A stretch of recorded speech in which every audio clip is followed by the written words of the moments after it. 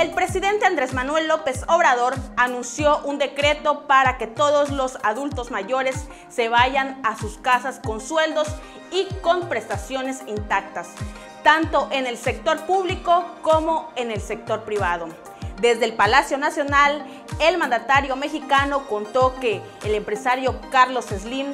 le mandó a decir que él se compromete a no despedir a ningún trabajador de sus empresas